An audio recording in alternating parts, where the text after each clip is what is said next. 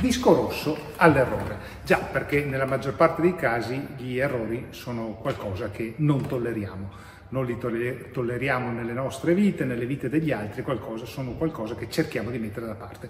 Eppure gli errori possono essere davvero utili, senz'altro sono inevitabili, nella vita come nella scienza. Ed ecco quindi che ho scritto questo libro, Storie di errori memorabili, che ha naturalmente un qualcosa di autobiografico, perché di errori eh, ne ho fatti parecchi nella mia vita, in qualche maniera per dare disco verde agli errori, cioè per imparare a riconoscere la loro forza generativa. E sono sono partito proprio dalla scienza, la disciplina che meglio conosco, perché a dispetto di quello che spesso si pensa, anche gli scienziati commettono errori.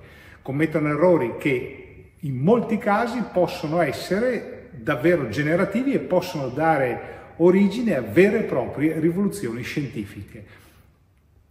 Quasi tutti gli, gli scienziati più famosi hanno commesso errori e da lì nuove, nuove teorie sono nate. Viva l'errore, quindi conviviamoci e impariamo a valorizzarlo.